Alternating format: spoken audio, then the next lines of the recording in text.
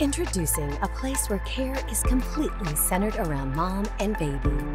The beautiful, modern, and all new Center for Women. Now open at Texas Health Denton. Learn more at texashealth.org/denton-expansion.